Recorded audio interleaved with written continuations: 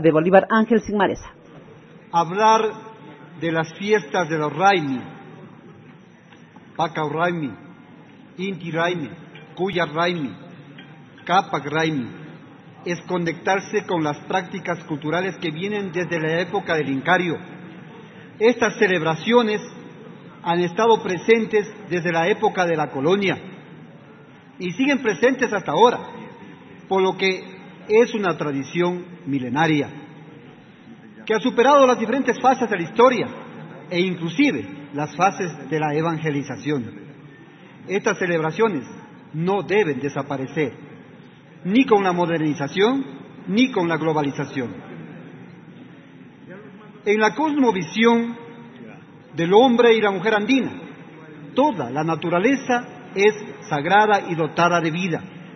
Por eso, a lo largo de los años, estas festividades han sido parte integrante de la vida ecuatoriana, que rendimos culto a las deidades andinas, agradecemos a las cosechas obtenidas, exaltamos la fecundidad de nuestra tierra. Señores asambleístas, con mucho gusto represento a la provincia Bolívar, geográficamente situada en el centro del país. Para nosotros, los bolivarenses, la celebración del Inti Raymi tiene un significado importante. Agradecemos a la cosecha, agradecemos a la Pachamama, a nuestra madre tierra, por la abundante producción de nuestros productos tradicionales, como el maíz, el melloco, la machua, la quinoa, la cebada, el trigo, las habas, la arveja, la lenteja.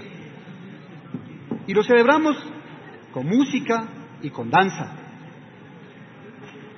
Vivir, celebrar las fiestas milenarias, nos permite que nuestras raíces étnicas conserven todo su esplendor y su colorido a través del canto y la alegría de los vientos que nacen desde el Chimborazo y atraviesan los verdes campos y dorados trigales y verdes maizales de nuestro suelo bolivarense.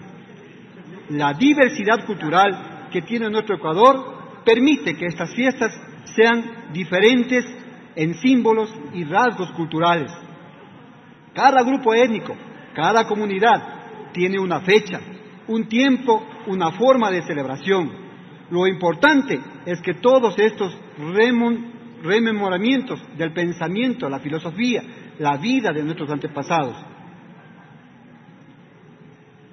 Termino mi intervención apoyando la resolución propuesta por el compañero asambleísta Washington Paredes, puesto que esto nos permite mantener la vida y las costumbres, las tradiciones de nuestros pueblos originarios, de nuestros pueblos indígenas, ya que cuyo texto es un mensaje para la niñez, para la juventud, porque mañana ellos tendrán la posibilidad de continuar con la celebración de estas fiestas milenarias, de estas fiestas propias, de estas fiestas autóctonas.